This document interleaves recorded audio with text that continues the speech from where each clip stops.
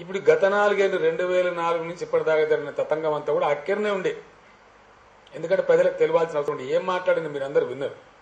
ఇదే కాంగ్రెస్ పార్టీ నాయకుడు పరిగిలో సభ పెట్టి వనపర్తిలో సభ పెట్టి నల్లగొండలో సభ పెట్టి గోడల మీద తాటికాయంత అక్షరాలు రాసి చివరికి ఎంత దూరం ఎంతవరకు మాట్లాడిందంటే కేసీఆర్ నువ్వు నిజమైన తెలంగాణ వాదివైతే కాంగ్రెస్ పార్టీతో పొత్తు పెట్టుకోవాలి. లేకపోతే నువ్వు చంద్రబాబు నాయుడు ఏజెంట్ అంటాము. ఈ పార్టీ నీతో చంద్రబాబు నాయుడే పెట్టించిందంటాము అనే దాకా వెళ్ళిండు వారు. ప్రజలు కూడా అన్నారు నన్ను. జయశంకర్ గారిని నన్ను చంపిన ప్రజలు కూడా. మేధావి వర్గం సమాజం నుంచి అనేక ఒత్తిడి. భయంకరమైన ఒత్తిడి. ఎందుకంటే వాళ్ళు కూడా అంటున్నారు కదా చంద్రబాబు నాయుడు సమైక్యవాది కదా మరి ఆ ప్రథమ ఆటంకాన్ని తొలగించాలి కదా అనే పద్ధతిలో సమాజంలో ఉన్న వివిధ సంఘాలు వివిధ మేధావి వర్గాలు మా మీద ఒత్తిడి పెడితే మాకు ఇష్టం లేకున్నా ఇది నమ్మదగిన పార్టీ కాదు అని ఎక్కడనో ఆత్మలో మురుగుతున్నా కూడా ఆనాటి సామాజిక పరిస్థితుల కోణంలో ఆనాడు ఆ నిర్ణయం తీసుకున్నాం. నమ్మినం విశ్వసించినాం. మేమేం తప్పు చేయలే.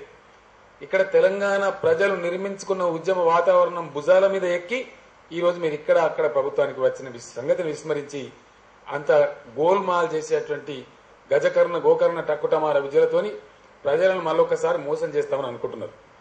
నేను మీతో ప్రార్థించేది ఒకటి. ఉద్యమాన్ని ప్రారంభించే ముందు మనకు నచ్చిన రోల్ మోడల్ ఏంటంటే జార్ఖండ్ ముక్తి మోర్చాని బాగా రోల్ మోడల్గా తీసుకున్నాం మనం. అందుకే శిబు సోరెన్ గారిని కరీంనగర్ సింహగర్జనకు తొలి సింహగర్జనకు వారిని మన ముఖ్య అతిథి కూడా ఆహ్వానించుకున్నాం. ఇక్కడ ఉన్నది ఏంటి అంటే సింపుల్ ఒకటి. ఇప్పుడు తెలంగాణ ప్రజల ముందున్న ప్రత్యామ్నాయం ఏంటంటే తెలంగాణ రాజకీయ అధికారం సంపూర్ణంగా నూటికి నూరు శాతం తెలంగాణ వాదుల చేతుల్లోనే ఉండాలి.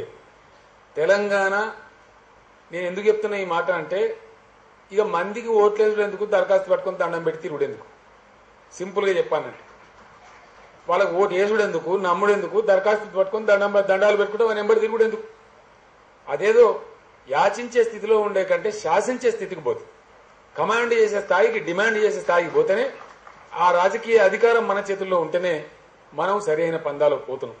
ఈ వేదిక నుంచి ఈ సంఘీభావ సభ వేదిక నుంచి తెలంగాణ ప్రజలందరికీ కూడా నేను శిరస్సు వంచి నమస్కరించి మనవి చేస్తా ఉన్నా.